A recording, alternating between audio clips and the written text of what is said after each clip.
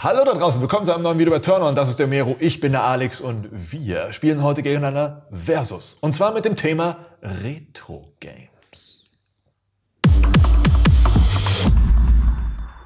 Ah, da sind wir in unserer Sitzecke und wir spielen jetzt gegeneinander Versus mit dem Thema Retro Games. Genau. Ich habe das noch nie gemacht. Ähm, wie funktioniert? Darf ich Einspruch erheben, wenn du irgendeinen Mist laberst? Oder? Ja, so ähnlich. Okay. Zumindest jeder von uns bekommt jeweils maximal zwei Minuten Zeit. Und mit dieser wunderschönen Stoppuhr, beziehungsweise auch aus dem Schach bekannten Uhr, können wir die Zeit stoppen, beziehungsweise weiterlaufen lassen für den jeweils anderen. Und in der Zeit, ähm, in der die Zeit läuft, haben wir die Möglichkeit zu argumentieren. Da du gegen, also kontra pro äh, Retro Gaming bist und ich pro Retro Gaming bin, müssen wir jeweils ne, uns. Äh, Okay. Das heißt, ich habe ein Zeitkonto und ich darf, muss damit haushalten und dann, okay. Ja. Ich würde sagen, dann fangen wir einfach mal an. Okay. Okay. So, zwei Minuten sind eingestellt. Ich drücke dann auf Play dann- und deine Zeit läuft zuerst, weil der Hebel hoch ist und sobald du ihn runterdrückst, läuft meine Zeit. Okay. Drei, zwei, eins. Bei mir ist es genau wie bei Musik. Ich kann mir nicht immer die gleichen Kram immer und immer wieder geben. Ich möchte Progression sehen. Ich möchte Fortschritt erleben. Deswegen finde ich Retro Games langweilig, weil das haben wir alle schon erlebt. Ah, das ist aber ein schönes Argument tatsächlich. Ich äh, denke, bei Retro Games ist es tatsächlich in erster Linie wichtig, gerade in der Moderne, dass die, Folge, die kommende und folgende Generation weiß, wo Dinge herkommen. Also dass, diese, dass dieser Ursprung, diese Wurzel immer aufrechterhalten wird, damit sie verstehen und wissen, warum das, was jetzt alles ist, so ist, wie es ist. Gut, also siehst du das eher so als, als, als ähm, Lehrmittel an. Okay, das sehe ich ein, aber ich weiß nicht, das ist nichts, was mich als Gamer konkret selbst betrifft. Ich möchte, dass Neues sichtbar wird, dass, dass ich nicht den alten Kram nochmal erleben muss. Und ich muss auch sagen, Spiele wurden damals früher ganz anders entwickelt als heute. Früher wurden Spiele deswegen zum Beispiel so schwer gemacht, damit du am Automaten immer wieder Geld reinsteckst. Deswegen sind so Metroid-Sachen überhaupt entstanden. Heutzutage ist das Quatsch. Heutzutage haben wir eine ganz andere Technik, ganz anderes, anderes Setup. Deswegen brauchen wir auch andere Spiele.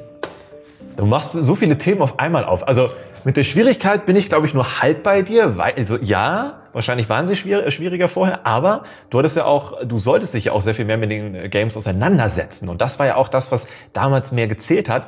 Eher Gameplay als Grafik, weil grafische Möglichkeiten, so wie heute, um vieles zu kaschieren, gab es nicht. Die mussten sich ja viel ausdenken. Damit war sehr viel mehr Handarbeit drin, damit war sehr viel mehr Verständnis für das Spiel oder den Inhalt, den sie erzählen wollten, drin. Und wenn man nämlich jetzt rückblickend äh, unterschiedliche Spiele spielt, dann merkst du auch, viele sind sehr gut gealtert, weil sie eben damals schon Inhalte hatten, die eben altern können und zeitlos sein können.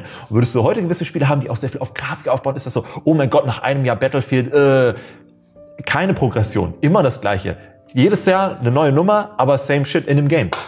Das ist ja eben so ein bisschen die Frage, was zählt denn als Retro-Game? Ein Spiel, was äh, Retro-Grafik hat oder ein Spiel, was von früher ist? Denn es gibt natürlich viele neue Spiele in, sagen wir mal, 2D-Pixel-Grafik, die nur deswegen so sind, weil Indie Programmierer nicht so viel Geld haben, krasse Grafiken zu erstellen und sich deswegen ähm, mehr trauen können, weil sie halt nicht äh, den Druck vom Publisher haben. Und äh, deswegen finde ich das völlig okay, wenn das die Grafik ist, wenn das so aussieht, also auch technisch nicht ganz so anspruchsvoll ist. Es geht eher um die Idee dahinter. Und bei, ähm, bei äh, äh, äh, äh, Retro-Games ist es aber oft so, dass die Ideen sehr simpel sind und das gefällt mir einfach nicht, weil ich jetzt schon so viel anderes gesehen habe.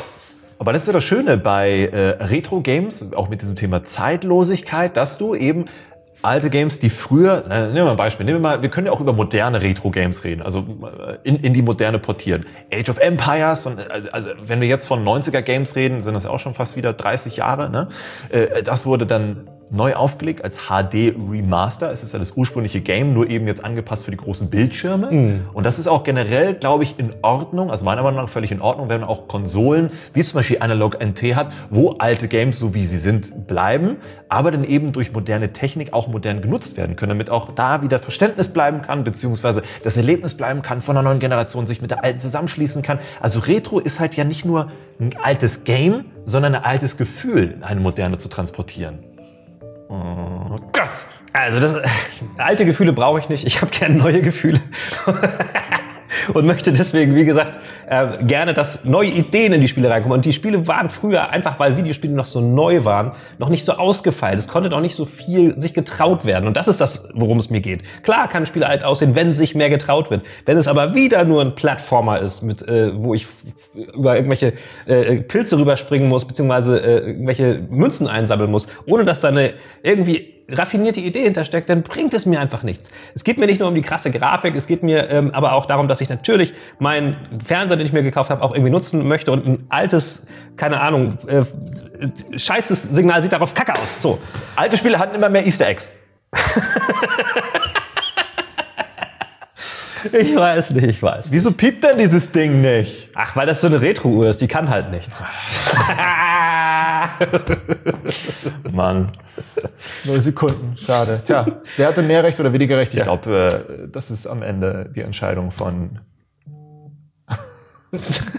Das einer höheren Macht. Einer- Schreibt uns auf dem Community-Tab oder in die Kommentare, wen ihr, ähm, auf wessen Seite ihr seid. Also wen ihr besser findet, könnt ihr auch gerne schreiben. Darum geht's eigentlich jetzt hier nicht. Insofern, wer gewonnen hat. Wer hat die schöneren Haare?